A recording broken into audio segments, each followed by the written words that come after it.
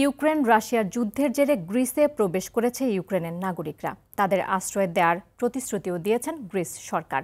অভিবাসন ও আশ্রয় মন্ত্রী নোটিস মিতারাকিস বলেছেন, বারো মাসের বাসস্থান এবং কাজের পারমিট প্রদান করবেন গ্রিস সরকার।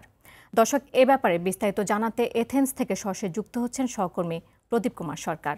প্রদীপ প্রদীপ, যেমনটি বলছিলাম, গ্রিসে প্রবেশ করছে ইউক্রেনের রিফিউজিরা। এ ব্যাপারে কি তথ্য আছে আপনার কাছে? বিস্তারিত জানাবেন।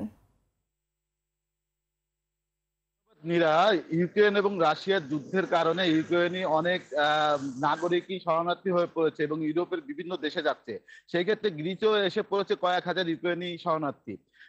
গ্রিসের থে স্যালোনিকি এরিয়াতে একটি ক্যাম্প পরিদর্শনকালে এখানকার অধিবাসন ও আশ্রয় মন্ত্রী নতিস মিদোরাকিস বলেছেন যে ইউক্রেনারা এখানে আসলে তাদেরকে এক বছরের ভিসা এবং এখানে থাকার সুযোগ করে দেওয়া হবে।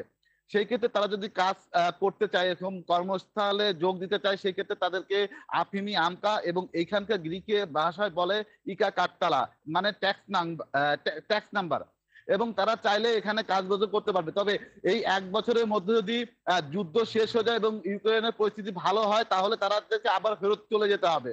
তা না হলে যদি এই এই এক বছরের মধ্যে ইউক্রেনের পরিস্থিতি ভালো না হয়, সেই ক্ষেত্রে আবার এদেরকে সময়সীমা বৃদ্ধি করতে পারে।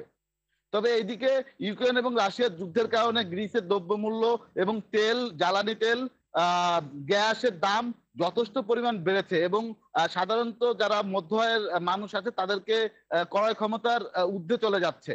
নীরা। প্রদীপ, আপনাকে অসংখ্য ধন্যবাদ আমাদের সাথে যুক্ত হওয়ার জন্য।